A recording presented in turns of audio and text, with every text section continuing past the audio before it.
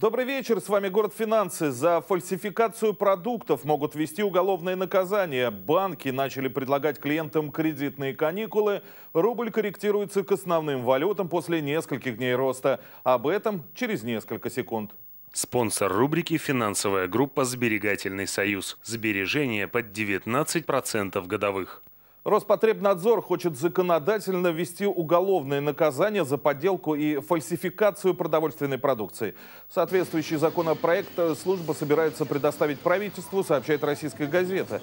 Инициативу коллег поддерживает и Федеральная служба по ветеринарному и фитосанитарному надзору.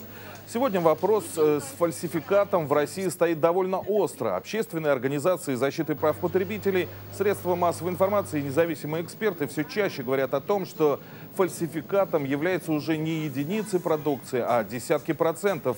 Причем речь не только о продовольствии, но и о лекарствах. У заемщиков российских банков появилась возможность отсрочить ежемесячный платеж по кредиту. На днях клиенты одного из банков, входящих в топ-10, стали получать СМС с предложением воспользоваться кредитными каникулами и за 2000 рублей отложить внесение взноса по суде. Как стало известно газете «Известия», в ближайшее время аналогичную услугу собираются ввести ряд других крупных кредитных организаций. Заемщики все чаще выходят на просрочку по разным причинам, будь то потеря работы, желание приобрести смартфон или сделать ремонт. Банки предусмотрели этот вариант. Предполагается, что это позволит заемщикам не откладывать крупную покупку. Рубль корректируется к основным валютам после нескольких дней роста. Официальный курс доллара США, установленный Центробанком 6 октября, составляет 62 рубля 45 копеек.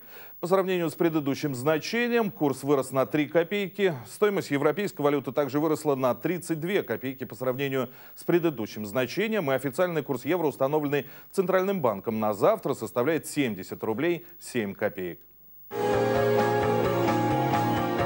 Да и вообще на всякий случай.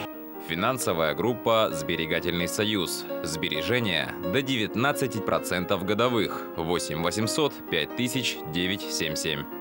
Это все на сегодня. Оставайтесь оптимистами и помните, с помощью денег можно сделать все, кроме человека.